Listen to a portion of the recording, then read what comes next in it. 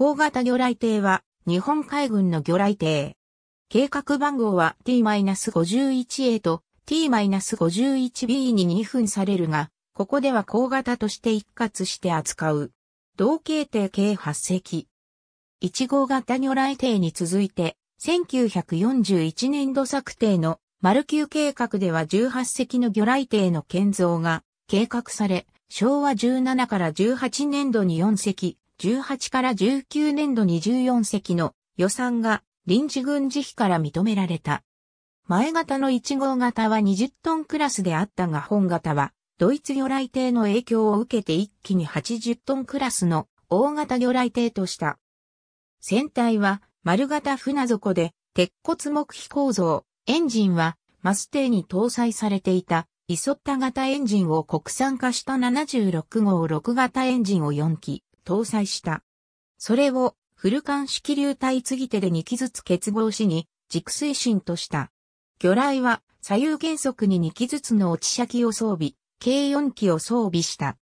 ドイツ魚雷艇の船体は軽合金製だったが日本では資材の節約から鉄骨木比にせざるを得ず、船体重量が増した。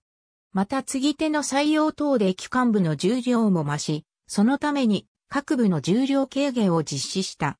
しかしそれは機械台の構造を弱くし、振動が発生、全力力、10以上の速力が出せなくなり、補強の必要が生じた。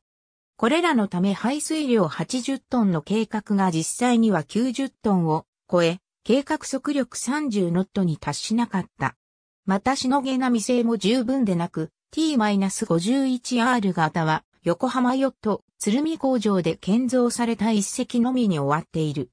10号魚雷艇が失敗に終わったため軽量化と工事の簡易化を進めた。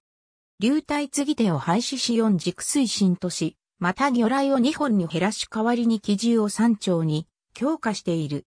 本型は横浜ヨット、鶴見工場で3隻、さらに銚子工場で8隻が建造された。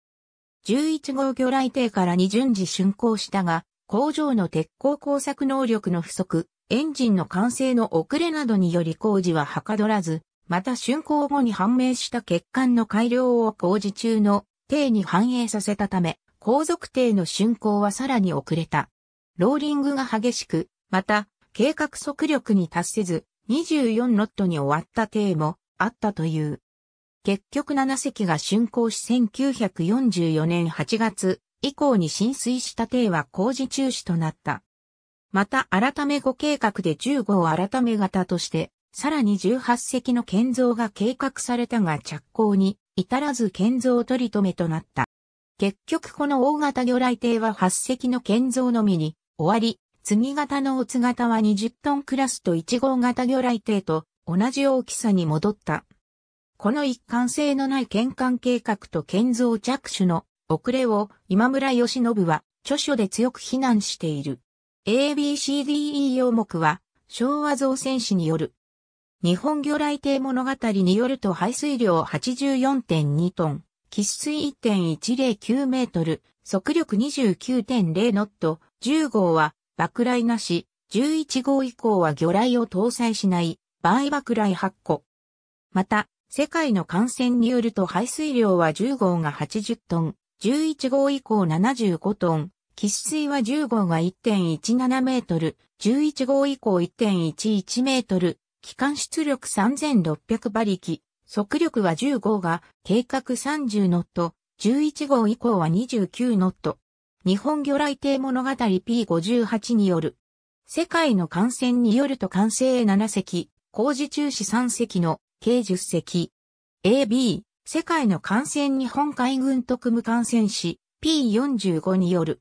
防衛庁防衛研修所戦士室、戦士総書海軍軍船備、に海戦以後 P36、43。日本魚雷艇物語 P58 から59。ありがとうございます。